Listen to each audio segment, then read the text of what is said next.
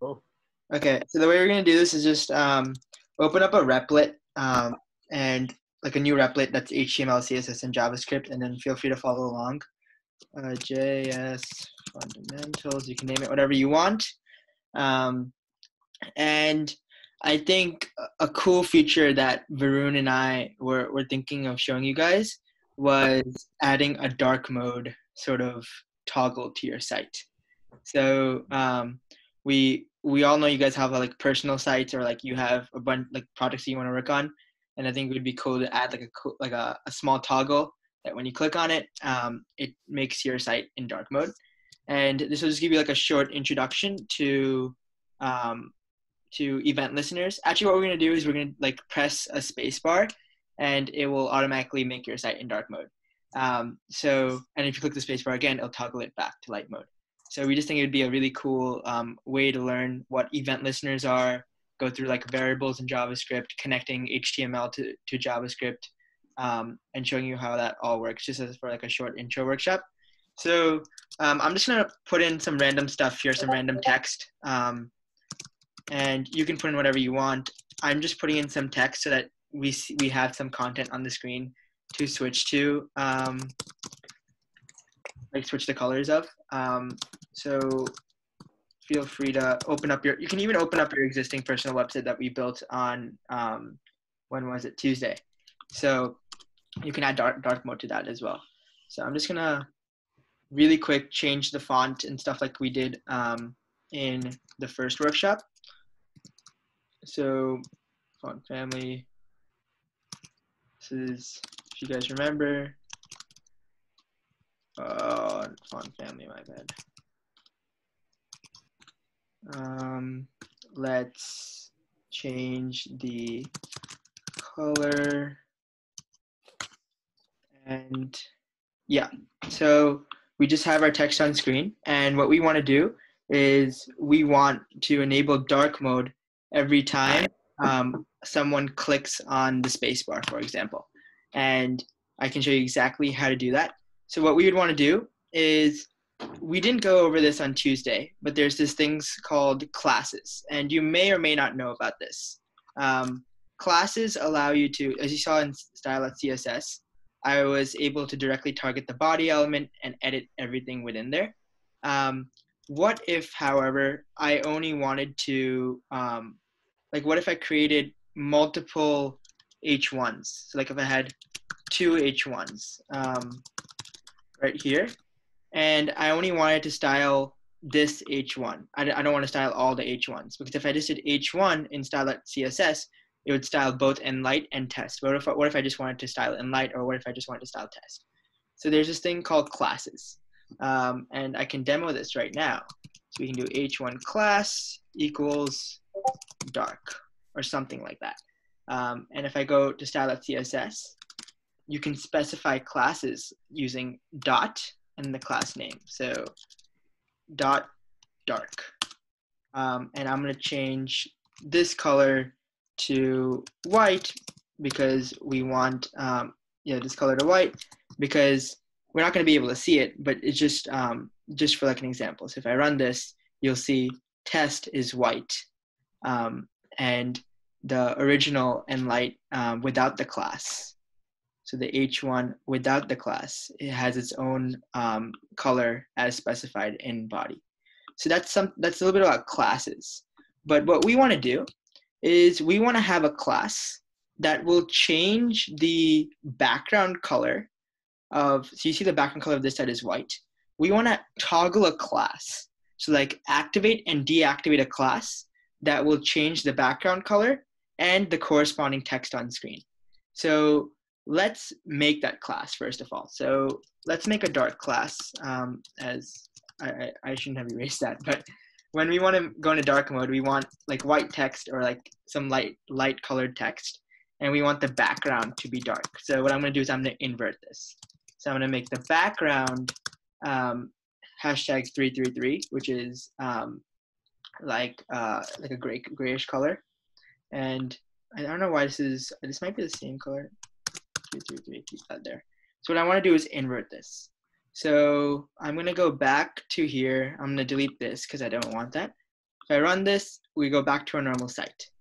But if I add a class to the body, um, class equals dark, if I run this, there we go. We have it inverted. And just to, to explain this, what we did here is that these are the default styles for body. But to override the default styles, I gave body a class, and that class name is called dark. And to reference that in CSS, I wrote dot dark, open bracket, color white, background, hashtag 333, which is the color of the text before. So I basically just inverted um, the, the font color and the background color. But now, like you can see our site's in dark mode, but to toggle it um, to go back to light mode, we there's no way of doing that, right? We have to manually remove or add this class to to toggle. Um, so if I run this, then we go back to normal. So before I move on, are there any questions regarding what I just did with classes and um, like the, the concept of classes in CSS? Because I know we didn't go over this on Tuesday.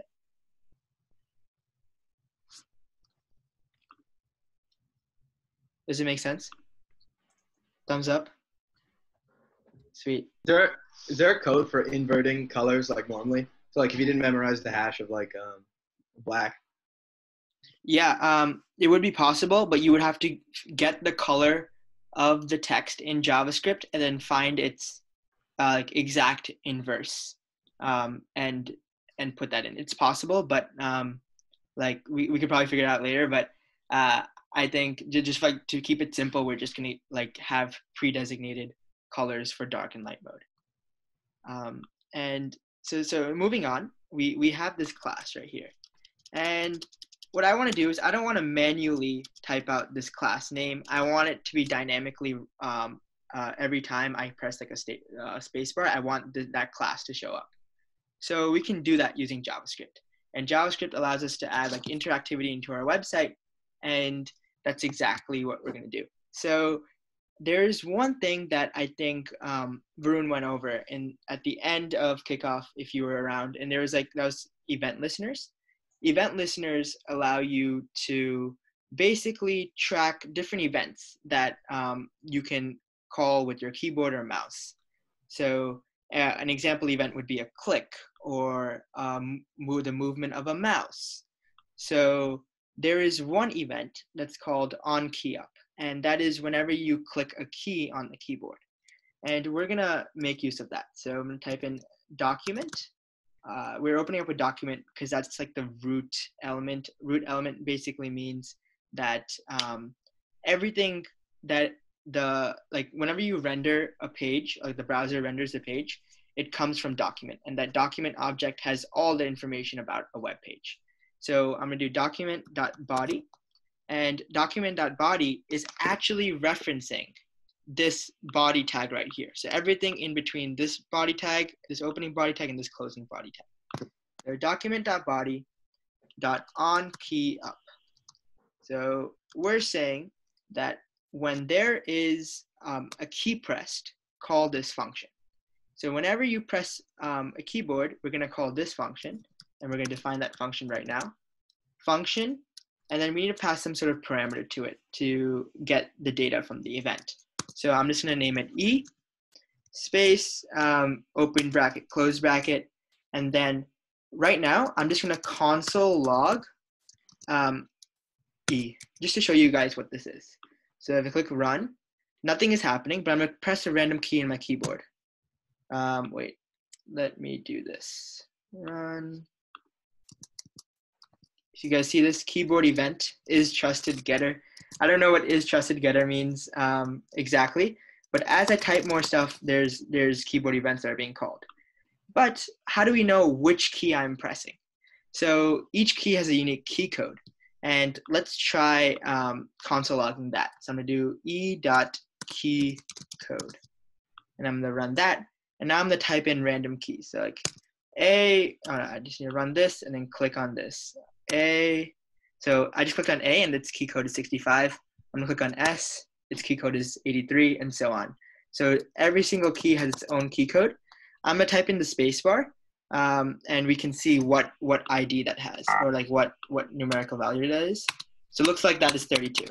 And what we want to do is toggle the class every time the key code equals 32. Every time we press a key and that key code equals 32 because I want this dark mode to only trigger when I um, click the spacebar. You can make it a different key code if you wish. Just make sure which key you're pressing um, makes sense. So I'm gonna do an if statement. So I'm like if e dot key code, if the code is equal to 32, what we would like to do is to toggle the class. And how may we do this? We can do this by using this function that is already built into JavaScript. It's called, um, first we gotta get the classes of body. So first we go document dot body dot class list. By the way, guys, um, I did not memorize any of this. I looked it up before this workshop, and if you want to figure out like oh, how do I toggle classes in JavaScript? That's exactly what you Google. That's, that's exactly what I Googled, and that's how I found this function. So document.body.classlist.toggle. Hey, Samay. Yeah. Um, so uh, just one question. So how does, how can you set the, the on key up to a function? How does that work? Like why, why, why can't you define it? Can you define it somewhere else or how does that work? Yeah, exactly. Um, you can actually make it its own. Um, so you got to set it up equal to some. So like the event listener is document.body.onKeyUp. So what you're setting it equal to is you're basically telling it what does the computer need to do when a key is pressed, and you can define it in a different way. You can um, you can literally say uh, dark mode. And I think you don't need parentheses, right? Correct me if I'm wrong, Varun. You don't. Yeah, sweet. So you do dark mode, um, and this would work too. And we can we can see that um, by console logging. And let's just test that real quick. So console log e dot key code, and I'm just gonna type.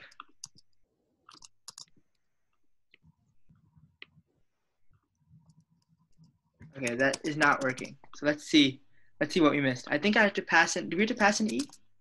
Yeah. No, I don't think so. But you might have to define it uh, after the function or something. Hmm.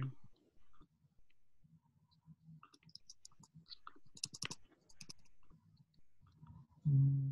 Okay, so let's try defining this after. Oh shoot! What just But happened? would it only um log if uh, it's a spacebar? Oh yes, yes. Let's let's try that. I I pressed random keys. You are 100% right. So I forgot I added that line. So let's just see if this works first. Spacebar. Yeah, it works. That was it, Maxim. Thank you. So it's actually working right now. Um, and there are two ways of doing it. So you can either just set this equal to a function, um, or you could just name the function and specify and define the function somewhere else. So either way works. And now that we have this, what we want to do is we want to toggle the class on body to, to toggle dark mode and light mode. So I'm to do document dot body dot class list dot toggle and the name of my class. So I think my the name of my class is dark. Sweet. I'm gonna run that. And before I run that, uh, actually let's let's run this first um, and show you. Sweet, it works. So I'm clicking the spacebar and it switches between dark and light mode. So this is basically changing a class in in um, HTML dependent on an event listener in JavaScript. I'm just gonna add one more thing. I'm gonna add a transition to this just so it looks a little more clean um, and everything transitions really nicely. So I'm gonna refresh the page. And as I click the spacebar, you can see it fades in and fades out, which is a really nice and cool effect. Um, this is just like a short intro to event listeners, which is something that's important in the WebPaint app. And I'm gonna hand it over to Varun real quick. Um, and he's gonna do another short demo with event listeners. But any Yeah. questions before I, I pass it over, guys? Can you show me the index document again? Yep. The index document is just um, as normal as you can get. It just has the text that I have. There's Oh. nothing here to specify because I'm actually dynamically adding that class. So Oh, okay, cool. let, let me show you guys how this works actually. I think this is something I want to uh, show you. This is a great, um, great point to bring up here, Max. So if you look at this body tag here, notice what happens when I click the spacebar. The class dark gets added. I click the spacebar again, the class gets removed. So that's the really cool part um, of seeing how the console, or you can actually see like what the source code of the site is in real time by opening up the console uh, by clicking on inspect element. And I think it's it's super valuable that you guys do that whenever you're debugging or just want to see more about how your your site works. Sweet. Um, any other questions? Sweet. With that, I'm gonna hand it over to Varun for another short demo. Sweet. Uh, can you enable screen sharing? Yes. Done. So uh, here's another one. So if you could actually open up another REPL, that'd be awesome. So just like make a new REPL. Um, I called it box movement because what we're gonna do is something super simple. We're just gonna have a little box follow your mouse. And the idea behind this is that you get an introduction to mouse events and how that would work. And this is really helpful for uh, the WebPaint app and just in general understanding uh, event listeners a little more.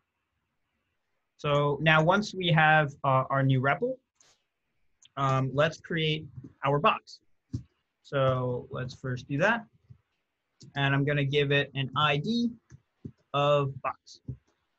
So just a div with an ID of box. And IDs are very similar to classes if you haven't seen them before. Um, they, except they are traditionally used for only one thing. So only one element will have a singular ID. And usually with classes, you assign them to multiple things. And it's just another way to identify an element. So now that we have our box, let's just style it so that we get it on the screen. Um, so we're gonna give it um, a width, say 100 px, uh, a height, 100 px, and let's just give it a background color of like a grayish color, similar to our dark mode from earlier. So if we run this, we'll notice we have a box on the screen. So cool. So next we have to see if we can get some mouse movement. So Samay introduced uh, uh, event listeners. So now we're going to use a, another event listener. It's called mouse move. So Samay did his event listener like this, document dot um, body dot um, on key up or on key down. But there's one more way to do this. Uh, rather than doing dot on key up, you can actually do add event listener. And this is a function that takes in two arguments. So in this case, we'll have um, mouse move, and our second argument will be a function.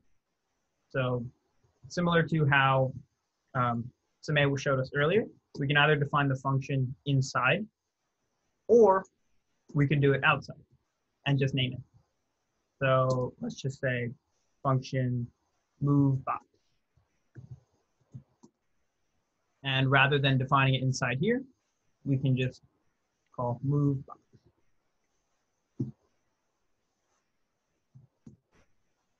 Cool. So now that we have our event listener, um, and we're going to add our little object to see where the mouse actually is. Let's um, let's log this again, except we're gonna log where the mouse is, and the the attributes that are where the mouse is are client X and e dot client Y. So what I just did there was I created a string from two numbers. So I took a number, added it, added, added a space between it, and another number. So you'll notice when I run this, and I go on the screen, nothing has happened. Um, hmm. Okay. Um, oh, I have to run it. Ah, perfect.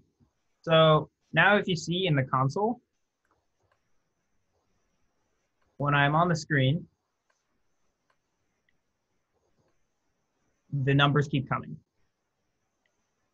And you can see the as I move the X position, the numbers get lower for the X. As I move the Y position, the numbers get higher and lower for Y. Cool. Um, so now let's make our box move with this, with our mouse. So, what we need to do for that is we need to set the top and left attributes of our box to these values.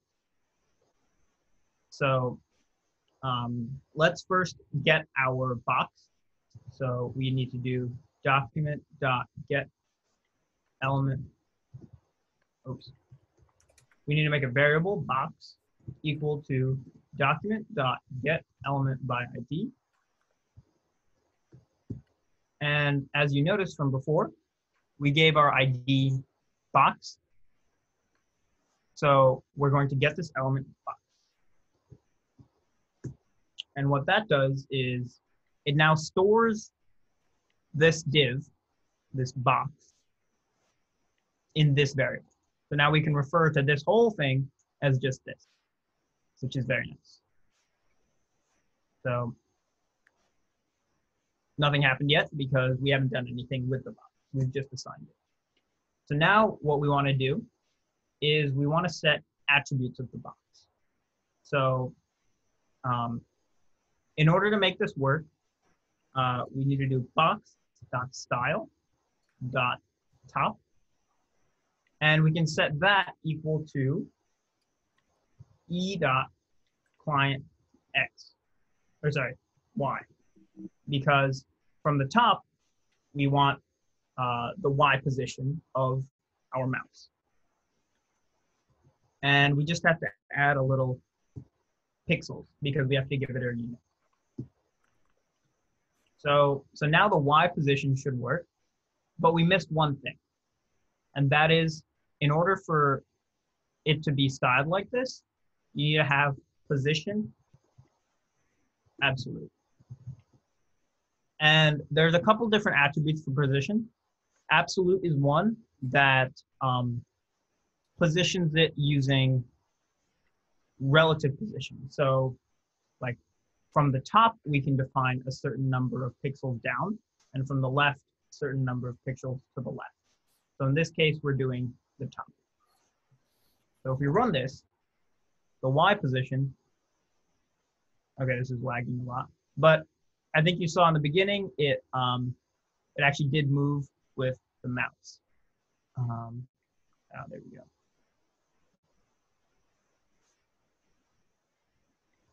Um, all right. I think it's lagging a bit. Is anyone having these troubles as well, or? Try opening a new tab. Yeah, let's try that. That's weird. How's everyone doing with this? Is is this also happening to you, or? Oh, Is it only on when you're when you're holding down your mouse? no, it seems like it's only when I'm in the box. Oh, oh, what is the event listener added to? The whole. Oh, okay. Yeah. I may have messed this up. It might just be document.edit. Let's try this. Ah, there we go.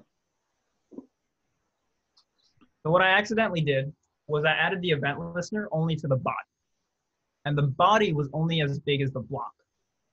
So only when I was over the body did the mouse event listener work. So now you'll notice that the, the box moves with our mouse. Cool. So now only one thing left, and that is to set the other one. So set the left. So box dot style dot left equals e dot client x plus px to give it our unit. And now let's run this and check it out. Our box moves with our mouse.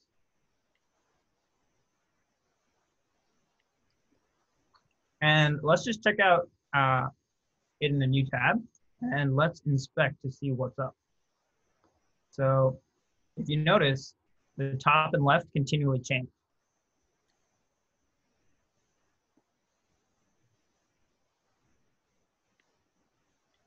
So yeah, uh, that was like a little introduction to uh, mouse event listeners and kind of where, where you can take this is say you wanted some sort of reaction game or something like that, you can uh, you can spawn boxes all over your screen and maybe make it a race to click on them or um, something like that because you can get the, the position of the mouse and the position of the boxes and calculate something based on that.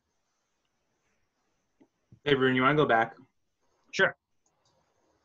So um, I might have missed this, but something that was confusing for me when I was doing JavaScript was um, like passing in the E. So Mhm. I don't know. I just prefer to call it event, but you might want to like explain like passing in function, like passing in variables into functions, because E seems pretty arbitrary. Um, Yeah. In this instance, so you might want to explain that. That's a good point. So with these event listeners, there's an quote unquote implicit thing that gets passed in.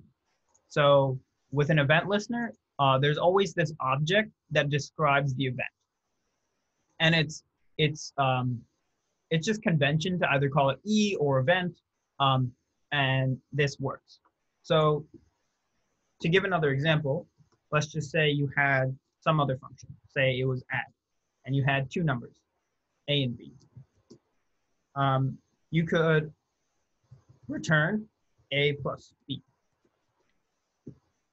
And you can call this function. Let's just say on two numbers. So four and five. So in this case, we actually have to pass in these two numbers. But with event listeners, it just implicitly gets passed in. And that is definitely pretty confusing. So if we run this and let's just say we console log this, we should see the number nine.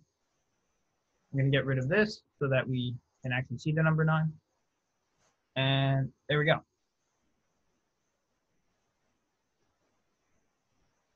So that's how you would pass in variables.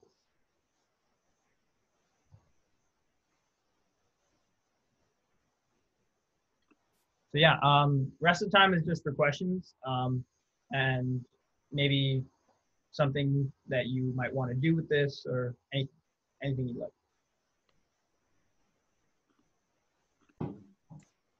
So I'm getting it to follow my cursor. However, I'm not getting the console to log anything.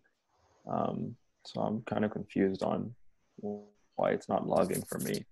Maybe it's my page. Yeah, for sure. Um, so when I commented out this, this stops the logging. Because this is this is the log. Um, do you do you have this e variable in your function as well? Yeah, I have it. Wait, what did you say you commented out one more time?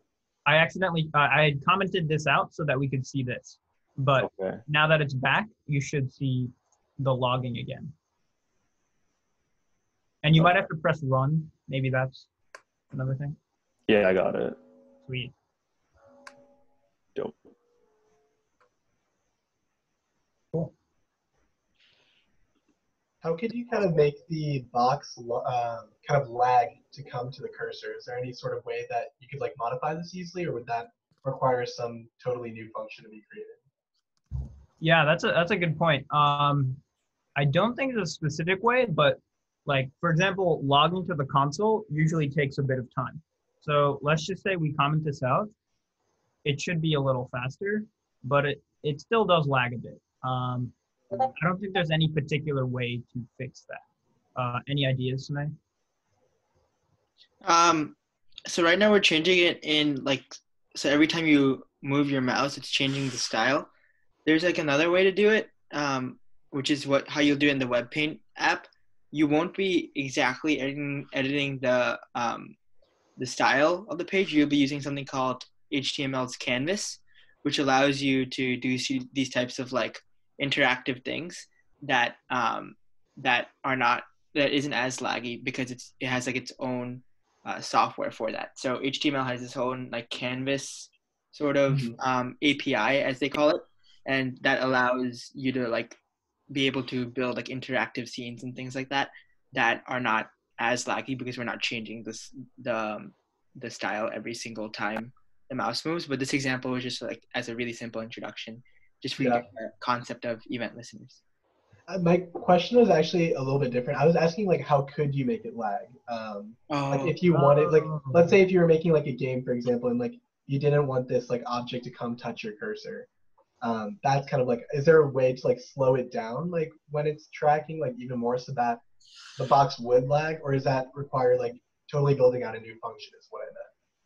No, you totally could. Um, the the way you would do that, I think, the easiest way would be to uh, use dates.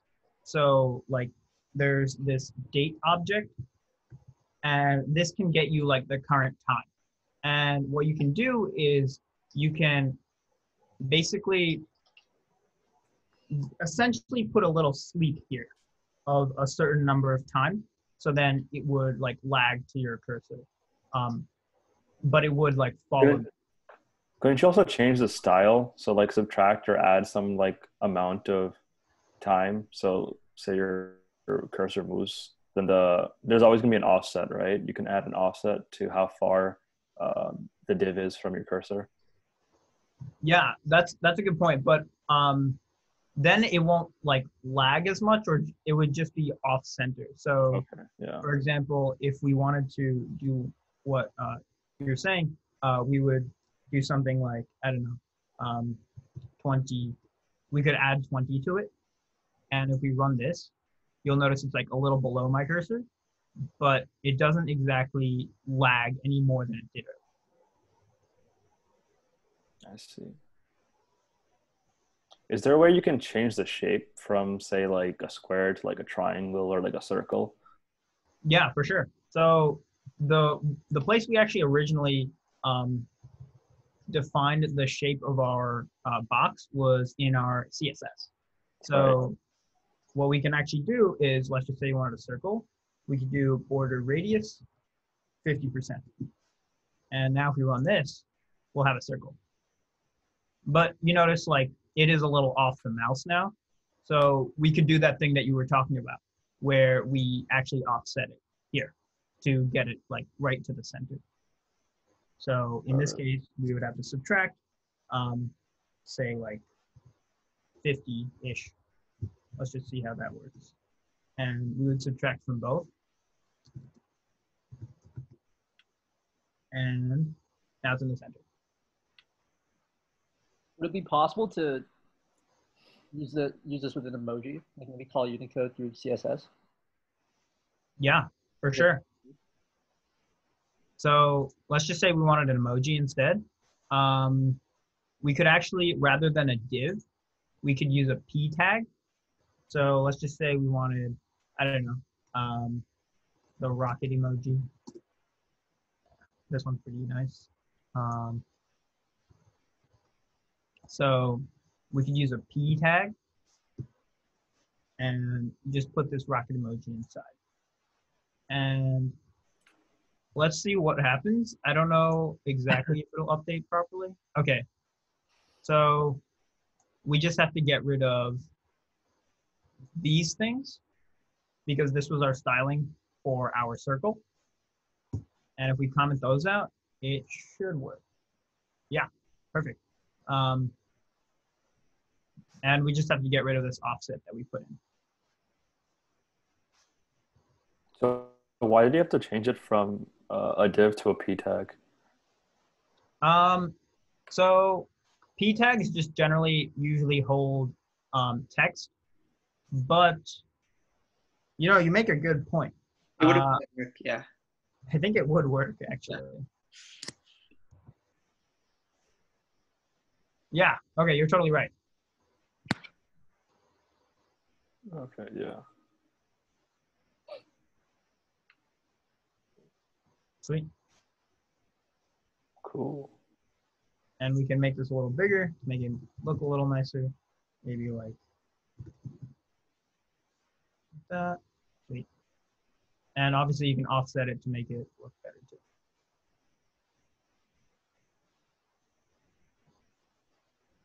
Cool. Could you could you use this to like replace like say a cursor, like change the way a cursor looks like? about to ask that, yeah. Yeah. Yeah. Um, so I think there's actually a like because you see the cursor is still there. Yeah. So I think there's like an inbuilt way to do that. Uh, not totally exactly sure how to do that, but let's see. Cursor. replace. There's actually a CSS attribute that will allow you like to specify an image as your cursor. Oh, okay.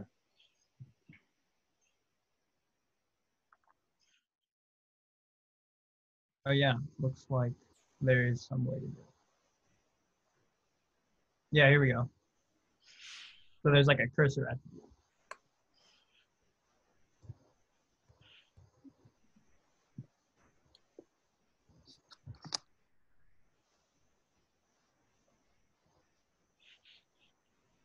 Sweet. Any other questions? At what point uh, did you make it an emoji? Like, what, what line of code switched it from a box to um? Yeah. Uh, so what we did was we added the emoji inside the div, and then we got rid of these these styles. So if I were to bring this back, then we would notice that the the circle is back. So it was mostly the CSS that did it, and just adding the emoji inside the div.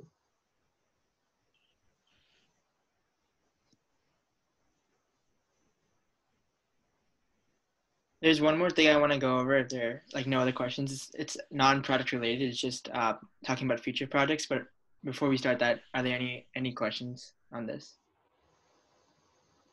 Okay, sweet. Um, I'll hand it over to you.